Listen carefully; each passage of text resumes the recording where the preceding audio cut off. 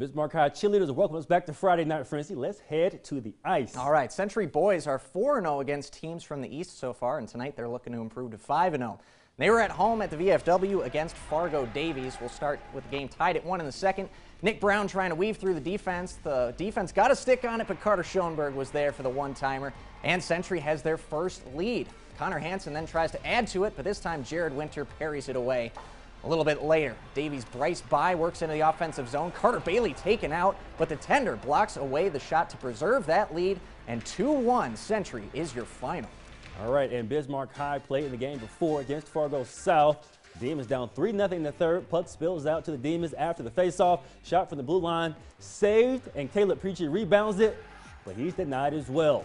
A little later, the Bruins attacking and they slide the puck around the boards. And Alex Surf sneaks in the goal 4 0 Fargo. Demons had a chance on the power play, but neither Braxton Neese or Zach Kuhn can light the lamp, and the Demons fall 4 to nothing. Yeah, Fargo's a tough team. On they the girls' side, we got Williston in town against the Bismarck Blizzard. No score in the first page. Pengilly has an angle here, but it's not enough to beat the Williston Tender, and we stay scoreless. Still in the first, Noelle Martin finds Jordan Kissy. She fires right in front of the tender, but she is denied. But towards the end of the first, Blizzard looking for an option. The pass goes back to the blue line. Brooke Nelson sneaks it five hole through the goalie for our opening goal. And the Blizzard are all over this one, 13 to nothing, and they just keep on winning, Joey. Yeah, they are impressive. 12 more goals after that. All right, now, the Century Swimming and Diving team equally impressive as they host a multi-duel. And this duel included 11 teams. Tomorrow there'll be 14. But today we start with the 200 medley relay. This is Heat 5, and in Century's, Will Dorman, who slaps the wall first, anchoring in a time of 1 minute 42 seconds.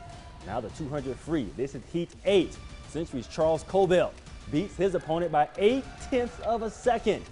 And now to diving. Fargo South's Connor Johnson looking to take the lead back with this one half back one half somersault, and that did it. He would retake the lead. There were a ton of multi-duel scores. But in the Capital City matchup, Century beat Legacy 134 to 41. Yeah, a lot of scores from today. Over in Mandan, they're hosting Grand Forks. We'll begin with the 200 medley. Mandan's Hunter Heinley, no it's not, is the anchor, and he finishes in minute 50, so the Braves off to a good start. Next up, 200 free. Mandan wins again. It's TJ Reinhardt getting the job done.